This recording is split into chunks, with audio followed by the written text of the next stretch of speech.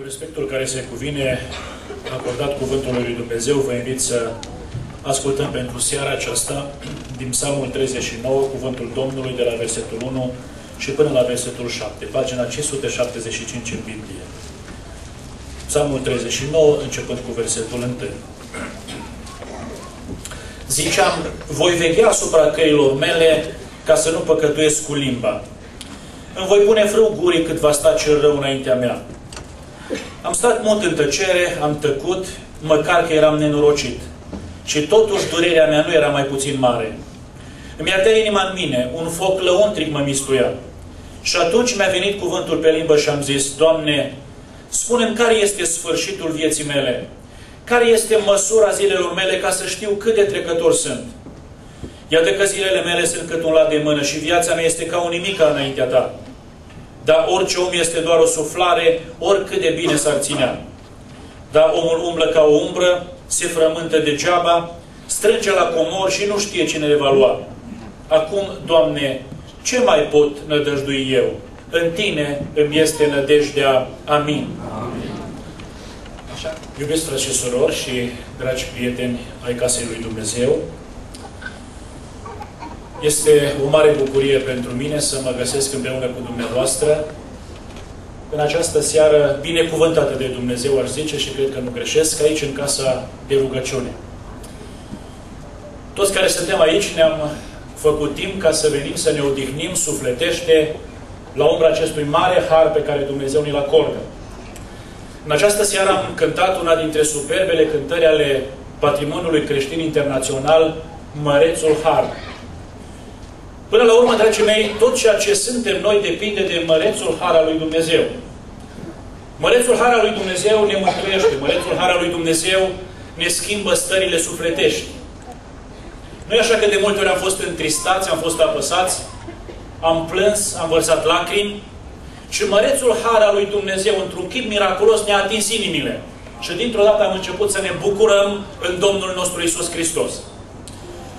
Dincolo de faptul că ne mântuiește, că ne schimbă stările sufletești, am cântat în această seară că Mărețul Har este Cel care ne învață.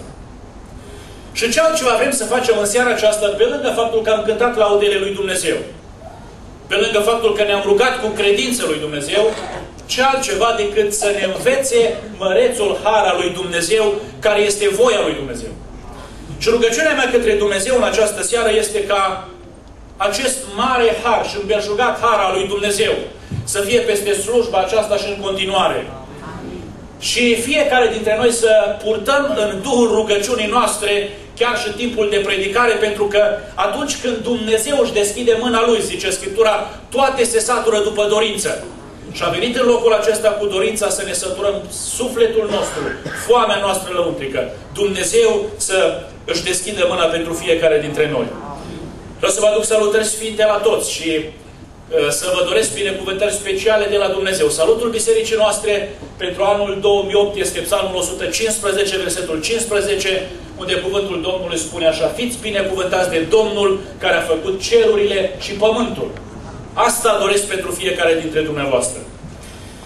Deci mi-am citit în seara aceasta un cuvânt al lui Dumnezeu din Cartea Psalmilor, care se citește de obicei cu alte ocazii. I-am spus fratelui Sandu că am oscilat foarte mult între două pasaje din Scriptură. Unul din Cartea Noului Testament, din Evanghelie, și cel pe care l-am citit în seara aceasta din Cartea Psalmilor. Și am venit de acasă cu frământarea asta, care? Evanghelia după Matei sau Psalmul 39?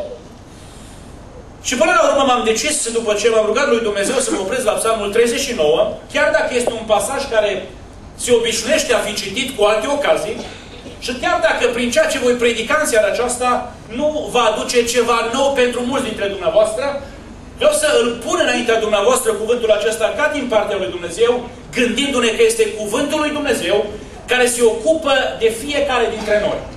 Și Dumnezeu să folosească cuvântul acesta, dragii mei, pentru cei tineri și pentru cei bătrâni să folosească Dumnezeu cuvântul acesta pentru copii și pentru părinți deopotrivă. Pentru noi toți care suntem în locul acesta, să-L folosească Dumnezeu în așa fel încât să ne ducă în această seară spre o decizie pentru Dumnezeu. Deci, mai fiecare dintre noi, nu contează ce vârstă avem. Am avut un moment în viață când am aterizat pe planeta asta, e adevărat? Într-o lume puțin ospitalieră. Și ca dovadă că lumea în care am aterizat noi atunci când ne-am născut e puțin ospitalieră, primul salut pe care l-am transmis lumii acesteia, știți ce a fost? Un plâns. Un plâns pentru care s-a dat notă. Ăsta a fost primul salut. Singurul confort pe care l-am simțit după ce am venit în lumea aceasta, imediat după ce am venit pe lumea aceasta, au fost brațele calde ale mamei care ne apropia de piept. Astea erau percepțiile noastre. Și vremea a început să treacă. Și am început să ne dezvoltăm percepțiile și s-a întâmplat un miracol.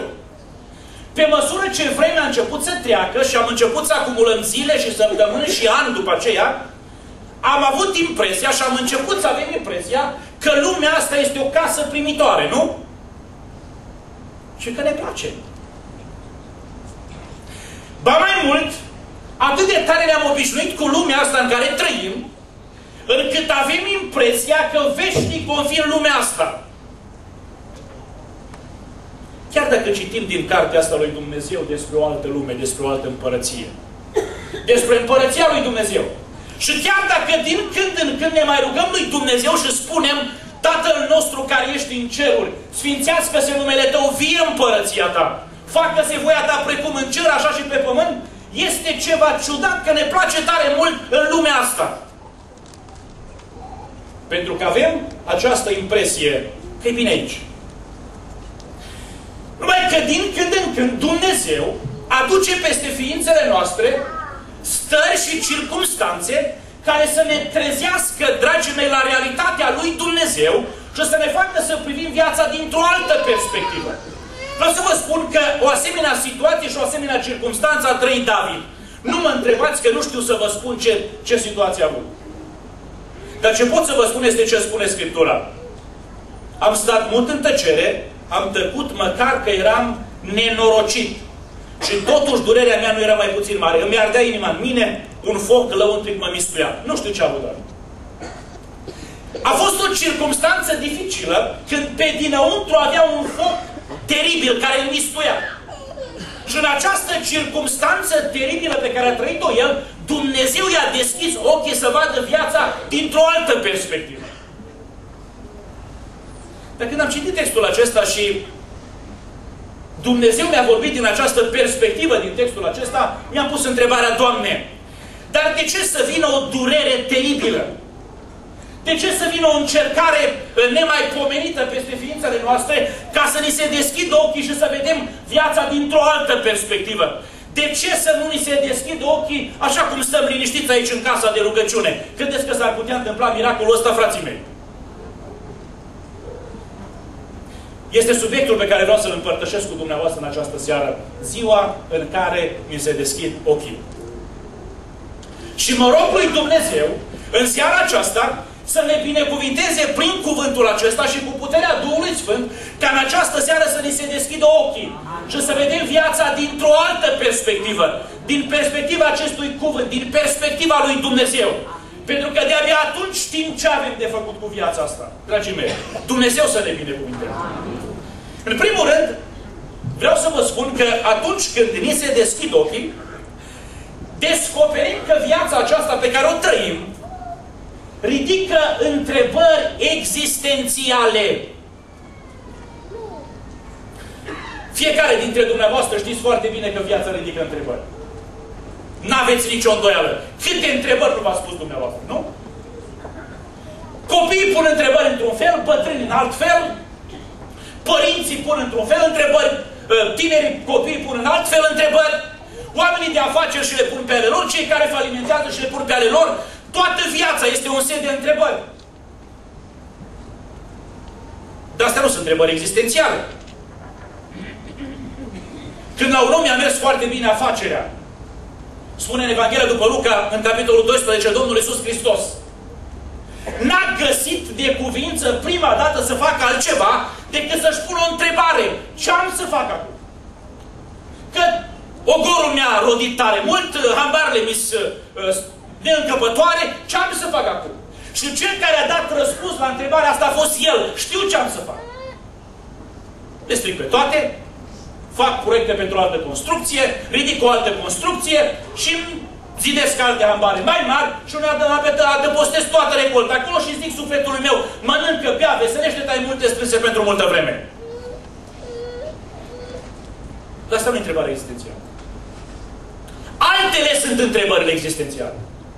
Și nu se poate, dragul meu ascultător, ca măcar o dată în viață să nu ajungi să-ți pui întrebarea asta. De unde vii? Încotro te duci? În această încercare teribilă pe care a trăit-o David și-a pus această întrebare existențială și a zis care este sfârșitul vieții mele? Care este măsura zilelor mele ca să știu cât de trecător sunt? Este asta întrebarea existențială, dragii mei. Dar cui să o Pe cine să întrebi? La cine să te duci cu întrebarea asta? De unde vin? Încotro mă duc? Care este măsura zilelor mele? Ce este omul? La cine să pui întrebările astea, dragul meu ascultător? David a zis, Doamne, nu s-a dus la filozof, nu s-a dus la consilierii lui, nu s-a dus la un doctor din vremea aceea, ca să spună care e măsura zilelor, s-a dus la Dumnezeu. Dar de ce la Dumnezeu cu întrebările astea, frații mei? Că dacă ți apleci urechea la filozofii lumii acesteia, au și ei câte ceva de spus despre viața asta. Nu? Dacă te duci la un medic care tratează pe un bolnav în stare terminală, zice, mai are vreo 4-5 zile, vreo 3 săptămâni, vreo 3 luni de zile. Și până la urmă te trezești că greșește. Dar Dumnezeu nu greșește, dragii mei. Răspunsurile adevărate la întrebările existențiale le are Dumnezeu din ceruri. Și n-a greșit David când s-a dus la Dumnezeu și a zis, Doamne, spune Tu care este măsura zilelor mele. Dar de ce Dumnezeu? Și de ce Dumnezeu, dragii mei? Pentru că eu și dumneavoastră și fiecare om de pe planeta Pământ suntem rezultatul actului creaționist al lui Dumnezeu. Nu suntem întâmplare. Într-o zi, Dumnezeu a decis în sfatul din cerul și a zis să facem om. Și acest suveran al Universului și al creației s-a plecat asupra țării și a strâns-o. Și a făcut o formă. Și în forma asta Dumnezeu a pus suflare de viață. Și omul a devenit un suflet viu. Cum să nu știe Dumnezeu? Duceți-vă dumneavoastră la un proiectant de orice din lumea aceasta. În orice domeniu, mecanic, computere, cum vreți dumneavoastră și întrebați-l pe proiectantul acela sau pe executant câte ceva despre detaliile produsului și poate să vă spună. Păi au ieșit din mâinile mele toate astea, zice el, nu? Au fost în capul meu ideile. Întrebați-l pe Dumnezeu și Dumnezeu știe, pentru că Dumnezeu ne-a adus în existență. Dumnezeu ne-a creat populăm planeta asta pentru că Dumnezeu într-o zi a decis să venim pe planeta aceasta. De aceea, dragii mei, întrebările existențiale le punem lui Dumnezeu. Dar știți de ce, dragii mei, trebuie să-L întrebăm pe Dumnezeu? Pentru că pe planeta asta, ascultați-mă bine, se trăiește și se moare după cuvântul lui Dumnezeu. E greu de priceput. E greu de acceptat. Dar pe planeta asta, pământ pe care trăim noi, și uneori ne place și alteori ne chinuim, pe planeta asta, pământ, se trăiește și se moare după cuvântul lui Dumnezeu. Spune a doua carte a împăraților că într-o zi, împăratul Ahazia a avut un accident. A căzut cumva de la balcon, de la balconul Palatului Împărătesc. Nu știu cum s-a întâmplat să cadă printre zăbrele. Așa spune textul biblic. când s-a întâmplat accidentul acesta, întrebarea existențială pe care și-a pus-o împăratul ăsta a fost următoarea. Mă mai fac bine sau mor? Dar pe cine să întrebe? Unde să se ducă? Și a trimis mesagerii la Dumnezeii Ecronului. Duceți-vă și întrebați pe Dumnezeu Ecronului dacă mă mai dau jos din pat sau nu mă mai dau jos din pat. Dacă mă vindec sau nu mă vindec. Dacă mai trăi sau mor. Întrebați pe Dumnezeu Ecronului. Și când se duceau mesagerii aceia să întrebe pe Dumnezeu Ecronului, le-a tăiat calea un om, îmbrăcat simplu într-o haină de păr de cămilă, încins cu un brâu de curea și le-a zis, oare nu este Dumnezeu în Israel să întrebați?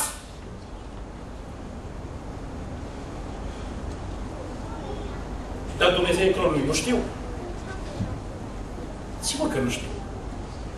Cel care știe este Dumnezeu, frații mei. Pentru că pe planeta asta, și repet pentru a nu știu câta oară, se trăiește și se moare după cuvântul Domnului. Când a venit a treia ceată de delegați să se întâlnească cu Ilie și când s-a purtat altfel decât celelalte două cete, Ilie a zis în, fel, în cele din urmă așa, duceți-vă și spuneți împăratului, nu se mai dă jos din patul în care s-a suit. Și pe pagina din dreapta Bibliei stă scris acolo sus așa. Ahazia a murit.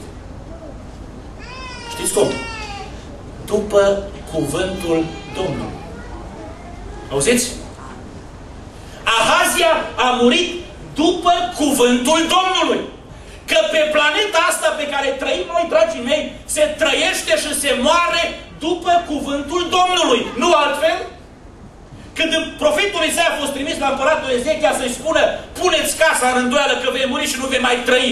Împăratul s-a întors cu fața spre pete și a început să plângă, să se roage lui Dumnezeu. Să-i aducă în fața lui Dumnezeu tot trecutul și toată strădania de a face voia lui Dumnezeu. Și nici n-a apucat bine Isaia să iasă în curtea uh, palatului, că Dumnezeu l-a trimis înapoi cu alt mesaj. De data aceasta, mesajul era acesta. Dumnezeu ți-a auzit rugăciunea și Dumnezeu îți mai dă încă 15 ani. Și vă întreb, dragii mei, dacă a mai trăit Ezechia 15 ani, cum a trăit? După cuvântul Domnului, nu?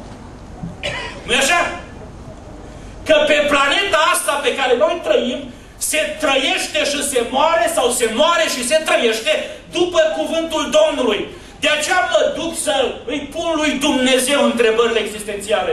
Pentru că ne-a creat Dumnezeu și El dispune de fiecare dintre noi. Dragii mei, Dumnezeu să ne ajute să știm încotro să ne îndreptăm.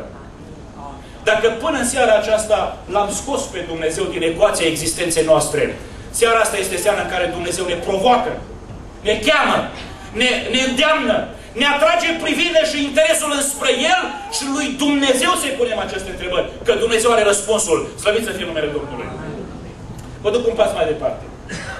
În ziua în care ne se deschid ochii, descoperim, dragii mei, că viața asta are o durată necontrolabilă. Dragii mei, dacă v-aș întreba în seara aceasta cât e viața omului pe pământ, ce ați zice? Cam ce cifră ați spune dumneavoastră? Sfânta Scriptură zice că viața omului este 70, 80, dar nu toți ajung la 70, nici nu toți la 80. Sunt care se duc de aici ceva mai repede, alții care se duc mai târziu de 80, adevărat? Nu avem un răspuns cert la întrebarea asta. Dar răspunsul care este sigur după cartea asta este că viața omului pe pământ este scurtă. E adevărat că e scurtă. Dar vă întreb, scurtă în comparație cu ce?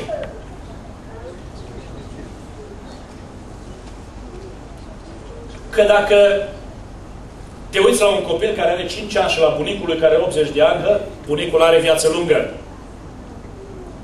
Dar dacă te uiți la bunic în comparație cu Metusala din Vechiul Testament, bunicul are viață scurtă, nu? Când Biblia spune că viața omului pe pământ este scurtă în comparație cu ce? Dragii mei, răspunsul este că viața mea și a dumneavoastră și a noastră este scurtă în comparație cu aspirația dinăuntru nostru. Dar de unde e această aspirație? Care de aici dintre dumneavoastră nu vreți veșnicia? Care nu vreți veșnicia? Asta e aspirația noastră. Vine la Domnul Isus Hristos un tânăr și tânărul la vârsta pe care o avea el, în tinerețea lui pune această întrebare. Învățătorule, bunul învățător, ce să fac ca să moștenesc viața veșnică? Dar băiete, tu mai ai viață încă înainte? De acum te interesezi de viața veșnică? Dar sigur că aici noi a pus Dumnezeu gândul veșniciei. Și în, în funcție de această aspirație, în comparație cu această aspirație din fiecare dintre noi, viața pe care o trăim de 80, de 100 dacă noastră, este scurtă, pentru că aici am sădit în mine gândul veșniciei. Dumnezeu l-a pus acolo. Cine poate să-și controleze durata vieții, așa scurtă cum este ea? Este cineva care poate să-și controleze? Singurul care controlează este Dumnezeu. Doar tocmai mai înainte v-am spus despre faptul că pe planeta asta se trăiește și se moare după cuvântul Domnului. Niciunul dintre noi, dragii mei, nu poate să-și controleze lungimea vieții. Sau scurtimea vieții, dacă vreți să spun așa. Dar este ceva în această viață scurtă pe care o trăim în lumea aceasta, ceva care să putem noi controla. Este? Frații mei, este sau nu este? Sunt cel puțin două lucruri pe care noi le controlăm. Poate că sunt mai multe. Două îmi vine în minte în seara aceasta. Știți ce controlăm noi? Controlăm relația noastră cu Dumnezeu. Asta controlăm. Că de aceea mereu în cartea asta Dumnezeu vine și ne spune pocăiește-te omul. Ia aminte la cuvântul din Scriptură. Întoarce-te la Dumnezeu. Lasă-te de păcatele tale, de fără de legile tale. Vino la Dumnezeu. Din cauza asta zice Dumnezeu provocările astea, pentru că este ceea ce controlăm noi. Ne pocăim dacă vrem și nu ne pocăim iar dacă vrem, nu? Asta controlăm. Când Iona s-a dus în cetatea, în cetatea Ninive și a început cale de o zi să o străbată și să strige încă 40 de zile și Ninive va fi nimicită. S-a întâmplat un miracol în Ninive. Știți care a fost miracolul acesta, frații mei? De la împărat și până la ultimul dintre oameni și chiar la dobitoace s-au pus pe post și să se întoarcă la Dumnezeu. Pentru că relația cu Dumnezeu o controlăm noi oamenii. Și dacă se face evangelizare la Albine și dacă se face la Carpați, se face pentru ca să punem înainte la această Evanghelie și oamenii să se întoarcă la Dumnezeu. Nu ia Dumnezeu cu forța să împingă în rai în Împărăția lui Dumnezeu. Zice Dumnezeu, aici e poarta deschisă, intră. Dacă vreau, intru. Dacă nu vreau, nu intru. Relația cu Dumnezeu este ceea ce controlăm noi. Dar știți ce mai controlăm? mai controlăm, dragii mei, momentul de acum. Acest prezent pe care Dumnezeu ni l-a dat și în seara aceasta. Nu suntem siguri de secunda următoare. De ceasurile următoare. Nu suntem siguri de ziua de mâine sau de zilele următoare. Dar suntem siguri de acest acum. Și din cauza asta Biblia mă provoacă și mă învață acum, astăzi, dacă aud glasul lui Dumnezeu, să fac ce trebuie să fac. Că este singurul moment pe care pot să-l controlez. Și întrebarea pe care aș vrea să ne o punem în seara aceasta, dragii mei, este ce facem cu acest acum pe care îl controlăm? Ce facem cu el? Că de toate planurile pe care le-am făcut pentru mâine sau pentru poimene sau pentru la iarnă sau pentru la primăvară sau pentru la vara viitoare s-ar putea să leagă praful. Dar de momentul acesta suntem siguri putem decide pentru împărăția lui Dumnezeu sau putem să aruncăm înapoi a noastră cuvintele Domnului. De aceea este important să înțelegem, este timpul pe care îl controlăm, singurul timp pe care îl controlăm. Acum, când împăratul Berșațar era în culmea fericirii, pentru că era la ospăț și puțin poate amețit de vin, a văzut mâna aceea care a început să scrie pe zid, capul acela de mână. S-a cutremurat așa de tare, genunchii se băteau de oaltă. Nu știa ce, ce înseamnă scrierea aceea. Au trebuit să vină înțelepții, au falimentat și ei și a venit Daniel în cele din urmă și a zis, împărate, ce scrie pe peretele acela e un mesaj de la Dumnezeu. Dumnezeu din cer îți trimite acest mesaj numărat, cântărit și împărțit. Și ceea ce înseamnă că Dumnezeu ți-a pus viața în cântar, ți-a numărat zilele și i-a pus capăt. Ce s-a întâmplat, dragii? Chiar în noaptea aceea, Belșațar a murit. După cuvântul Domnului. Chiar dacă era împărat și controla ținutul și teritorii și țări, împăratul acesta n-a putut să controleze câteva ceasuri din viața lui. Momentul pe care ar fi putut să-l controleze a fost acel moment când capul de mână i-a scris pe perete și Daniel i-a venit cu un mesaj de la Dumnezeu. Atunci putea să zică, Dumnezeule, îți recunosc suveranitatea și mă pocăiesc, dar n-a făcut-o. Pentru că singurul moment, dragii mei, pe care putem să-l controlăm este cum. Următorul nu știm ce va fi. Dar, dragii mei, acest moment acum este destul. Este suficient ca să ne împăcăm cu Dumnezeu. Nu trebuie mai mult. Credeți asta? Nu trebuie săptămâni de zile sau luni de zile sau serii de evangelizare cu grămada. Acest moment acum este suficient să mă împac cu Dumnezeu. Îi de ajuns. Chiar dacă nu mai am alte secunde din viață, secunda asta când îi spun lui Dumnezeu, ai milă de mine, păcătosul ajunge. Când pe crucile acelea de pe Golgota stăteau atârnați oamenii aceia în mijloc Fiului Dumnezeu și de o parte și de alta, doi tâlhari. Unul dintre tâlharii aceștia s-a uitat mustrător la celălalt și a zis, nu te tem tu de Dumnezeu. Ăsta își bătea joc. De acolo, din, din piroane, își bătea joc de Domnul Isus Hristos. Nu te tem tu de Dumnezeu? Pentru noi este drept să suferim. Dar neprionitul ăsta ce a făcut? Și apoi s-a întors spre Domnul și a zis a rugăciune, adu-ți aminte și de mine când vei veni în împărăția ta. Nu știu la câte secunde după aceea a murit. Sau la minute. Vă întreb, acel atunci, prezentul din vremea aceea pentru el, a fost suficient să se împace cu Dumnezeu, dragii mei? A fost suficient?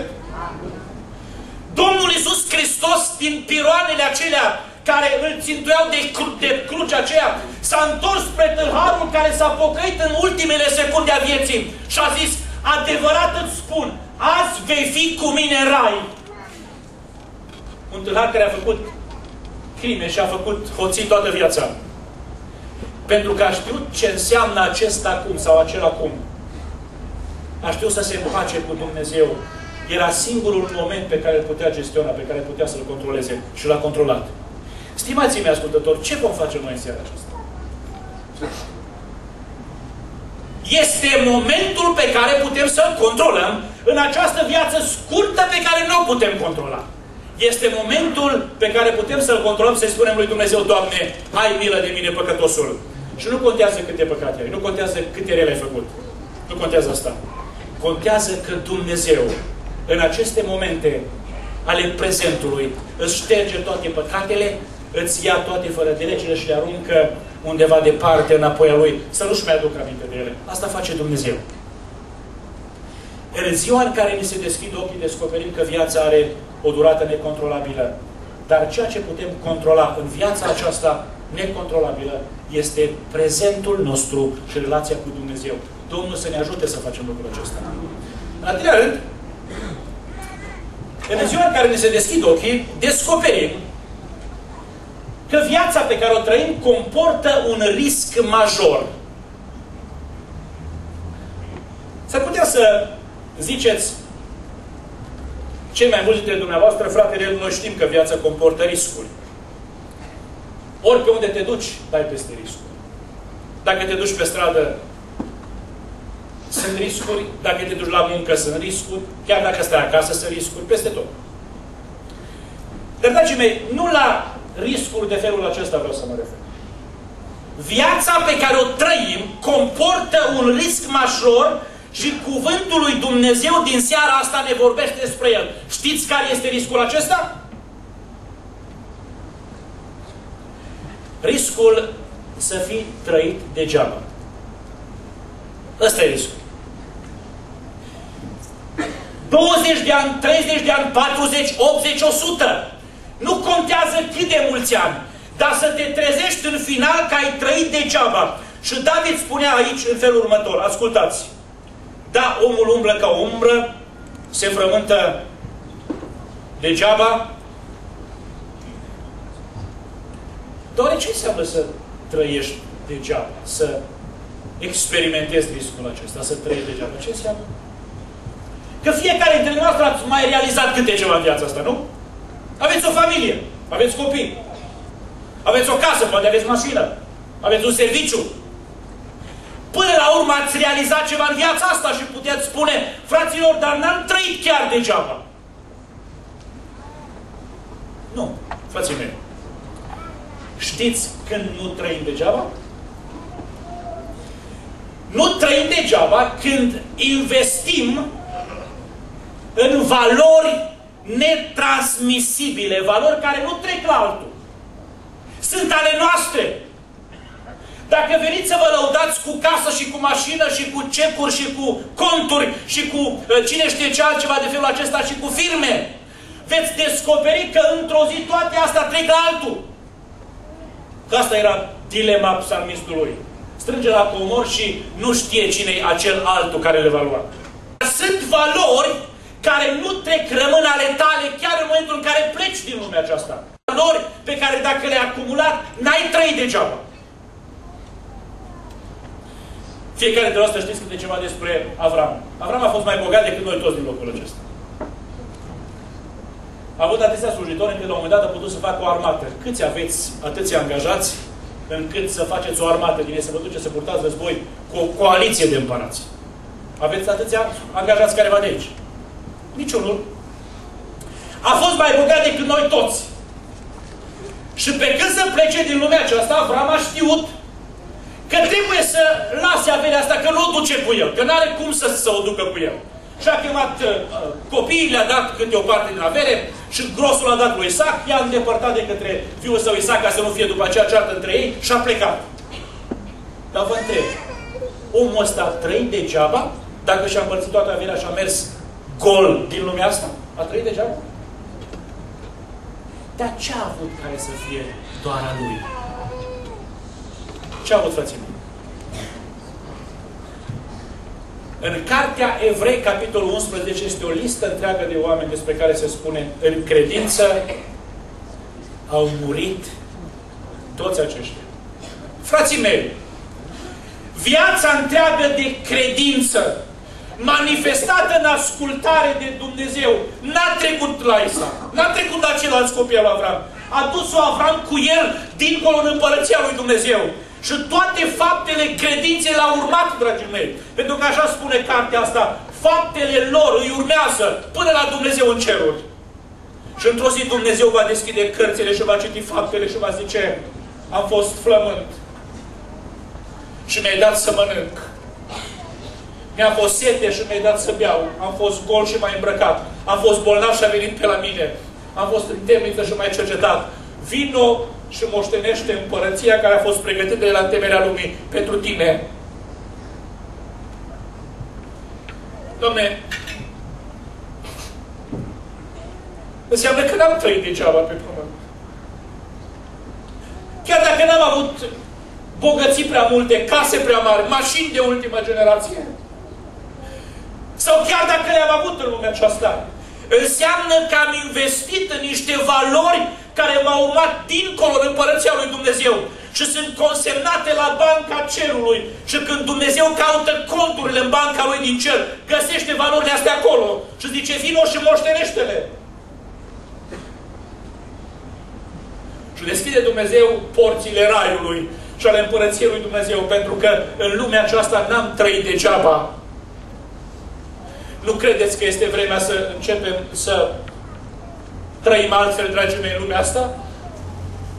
A dus istoria peste noi o vreme în care ceea ce credem noi că este important, este important să investim în valori materiale. Frații mei, nu vreau să spun că asta nu ține de existența noastră pe pământ. Dar dacă investim doar aici, într-o zi vom descoperi că am trăit degeaba.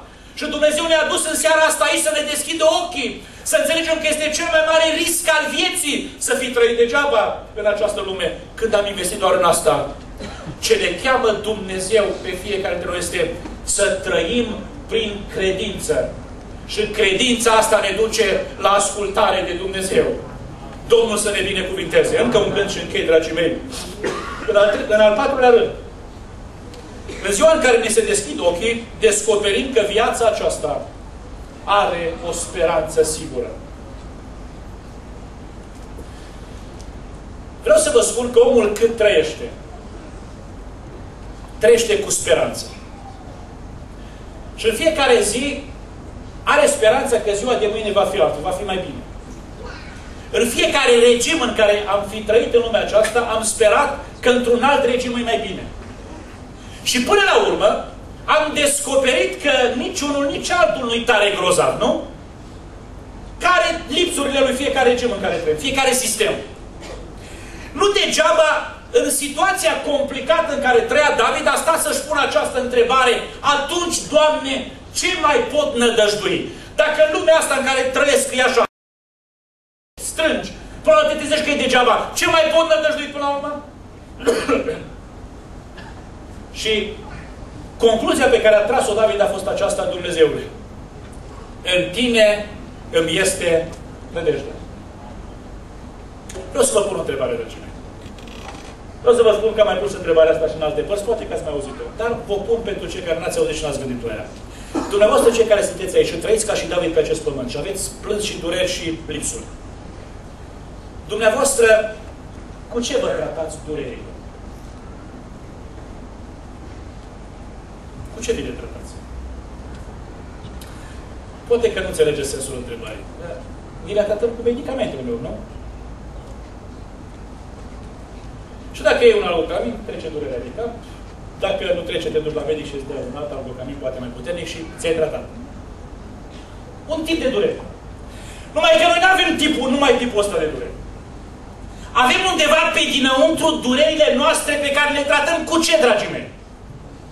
Uitați-vă, ă, David în situația în care se găsea el, că l ardea focul ăsta pe dinăuntru, a încercat să-și trateze durerile cu angajamente spirituale.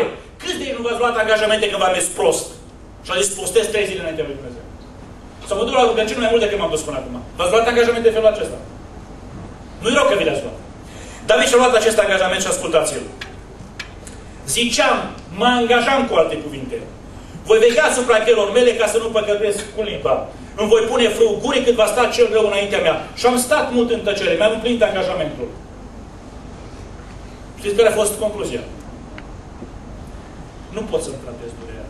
Totuși, durerea mea nu era mai puțin mare. Auziți? N-ați postit trei zile când v-ați luat angajamentul și nu v-a trecut durerea, frații mei. N-ați postit? Nu v-ați dus mai mult la rugăciune când aveați încercări în viață și n-a trecut imediat încercarea și ați rămas mai departe în cuptor? Încă o dată, nu spun că nu trebuie să ne luăm angajamente spirituale. Dacă medicamentele nu ne tratează, dacă angajamentele spirituale nu ne tratează, cu ce ne tratăm Dumnezeu? Știți cu ce ne tratăm durerile? Cu speranță, frații Cu asta ne tratăm durerile. Într-o zi, Domnul Iisus Hristos de vorbă cu ucenicii, cu cei din preajma Lui și a început să le vorbească despre faptul că Fiul omului va fi dat în mine celor fără de lege. Oamenii vor pune mâna pe El, îl vor judeca, vor condamna la moarte și va intra în inima pământului. Și în contextul acesta, Domnul a zis la un moment dat, sufletul meu este cuprins de o întristare ca de moarte. Și s-a văzut asta când s-a dus în Ghețiman să se roage transpirația lui s-a făcut ca niște picături de sânge. Frății mei, vă întreb, omul acesta, fiul omului, Isus, cu ce și-a tratat lui? Cu speranța zilei a treia. Da? Pentru că dincolo de spine aceia care intrau în, în frunte, dincolo de cuile care intrau în mâini și în picioare, dincolo de sulița care înțepa coasta, Fiul lui Dumnezeu a văzut ziua a treia cu învierea glorioasă dintre cei morți. Și dacă și-a tratat cu ceva durere și vorbea detașat cu ceilalți, chiar în suferința lui fiind uh, despre ce urmează să se întâmple, și-a tratat durele cu speranța zilei a treia. Vă întreb, este pentru noi un alt tratament pentru durerile noastre? De ce credeți că a spus David, în tine îmi este speranța? Îmi tratez durerile și vă tratați durerile, frații mei, cu speranța zilei a treia. În cartea profetului Ose, la capitolul 6, se zice veniți să ne întoarcem la Domnul. El ne-a sfâșiat, dar tot El ne va lega rănile el ne-a lovit și tot El ne va tămădui. Ne va da viață în două zile. Și a treia zi ne vom scula și vom trăi înaintea Lui. Este speranța zilei a treia, frații mei.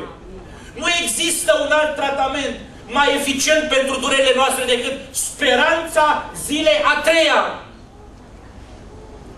Când trâmbița lui Dumnezeu va răsuna în universul acesta, așa de puternic că oriunde am fi pe planeta asta sau sub pământul acesta, vom auzi trâmbița lui Dumnezeu. Dar marea întrebare care se pune este asta. Ce atitudine va avea Dumnezeu în acea zi față de noi? Eu v-am trecut printr-o situație teribilă. L-a lăsat Dumnezeu pe mâna diavolului să-l chinuiască o perioadă de vreme. L-a lovit cu buba aceea rea din creștetul capului până în tălpile picioarelor.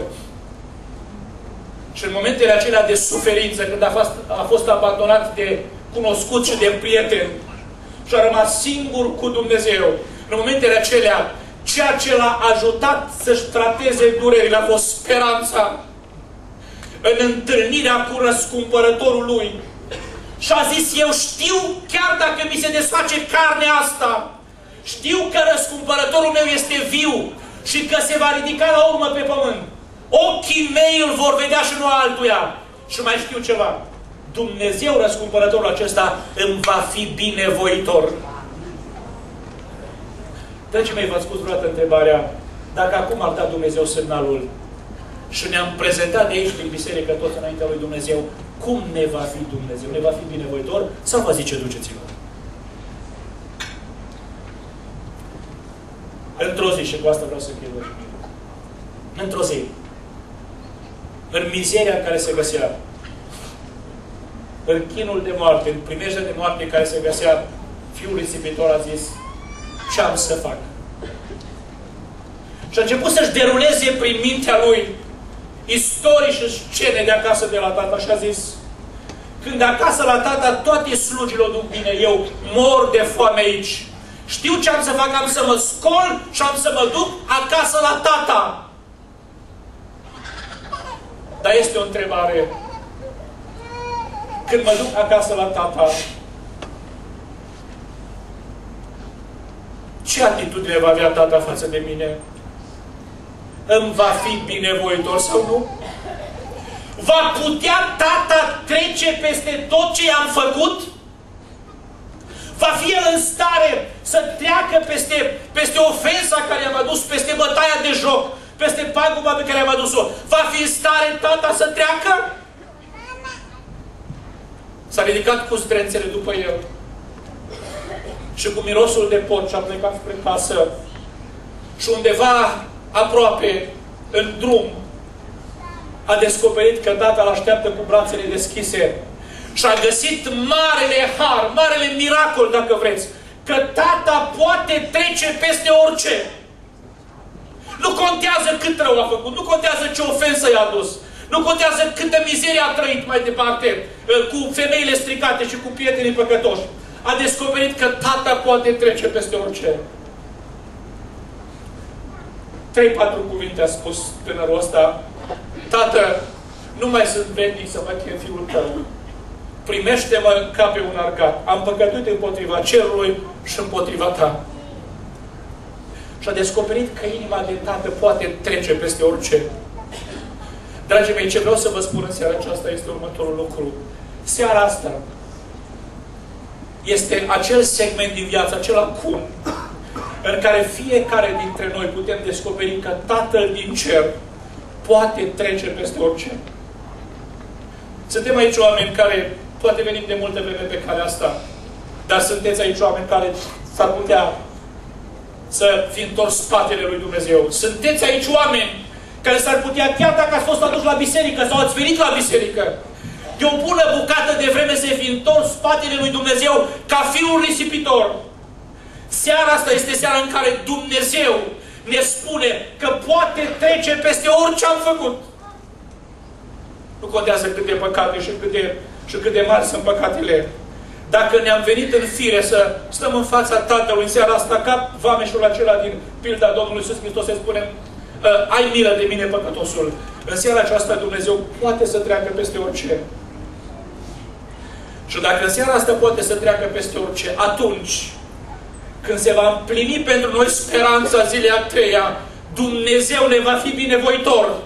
Dar este important să fi trăit în viața asta un moment în care să fi stat în fața lui Dumnezeu și să-i fi spus, Dumnezeule, ai milă de mine, păcătosul. Moment în care Tata să treacă peste păcatele noastre cu sângele Domnului Iisus Hristos.